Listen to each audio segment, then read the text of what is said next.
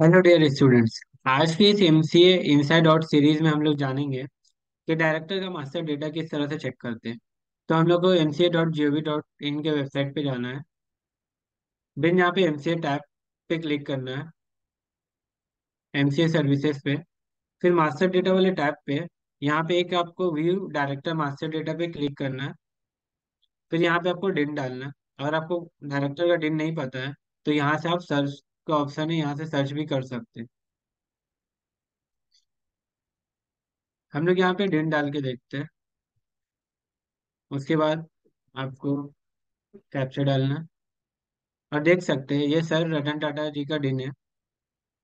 वो किस किस कंपनी में डायरेक्टर है, वो आपको यहाँ पे पूरा शो हो जाएगा। वो कब डायरेक्टर बने, वो कंपनी एक्टिव कंप्लाइंट है या नहीं है। उसके अलावा वो किस किस एलएलपी में डायरेक्टर है, ये भी पूरा यहाँ पे शो हो जाएगा। उसके अलावा आपको अगर इस, इनका पूरा डिटेल हिस्ट्री जानना है कि वो किस किस कंपनी में पहले डायरेक्टर थे वो रिजाइन कर दिए तो यहाँ पे एक एडवांस सर्च का ऑप्शन आता है। View director designated partner details. यहाँ पे आपको एक लॉक का सिंबल दिखेगा। इसका मतलब ये है कि आपके पास अगर आईडी है तभी आप देख सकते हैं इसको। तो यहाँ पे हम लोग क्लिक करते हैं। और आप देख सकते हैं कि ये मेरा लॉगिन है यहाँ पे। ओके यहाँ पे साइन आउट का ऑप्शन दे रहा है।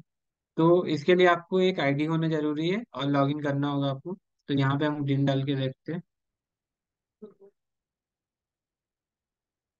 और आप देख सकते हैं, ये सर रतन टाटा जी का डिन है और वो पूरा उनका हिस्ट्री आ गया कि वो किस किस कंपनी में कौन कौन से डायरेक्टर थे।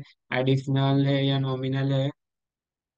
सॉरी नॉमिनी डायरेक्टर है या डेजिग्नेटेड पार्टनर है? वो कब अपॉइंट हुए कब उनका सक्सेशन हुआ?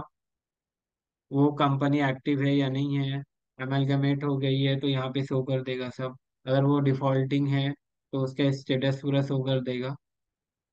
तो इस तरह से आप देख सकते हैं कि किसी भी डायरेक्टर का मास्टर डेटा किस तरह से चेक करते हैं। Thank you.